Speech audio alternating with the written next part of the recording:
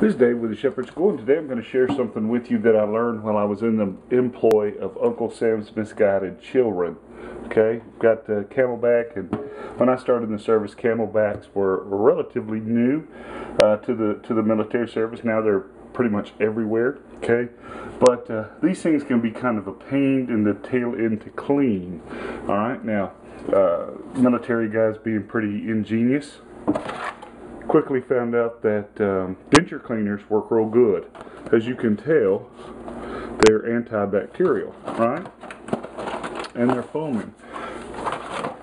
Basically, what they what they do is they oxidize the water and kill anything growing in it. So the way you clean these things is you open your camelback up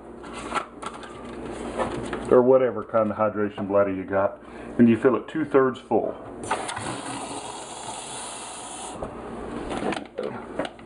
Then all you do is drop your little tablet in there and let it let it fizz away.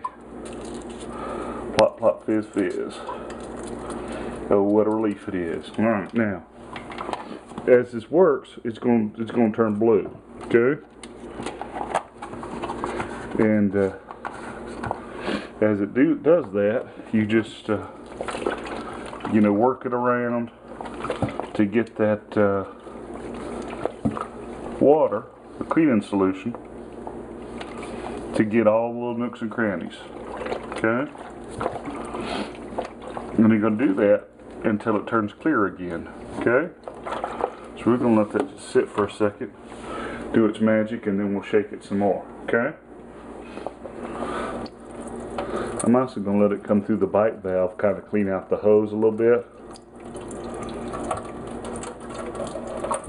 Let it uh, soak on through the cap and the...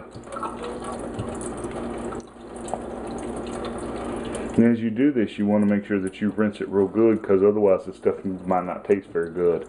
Right?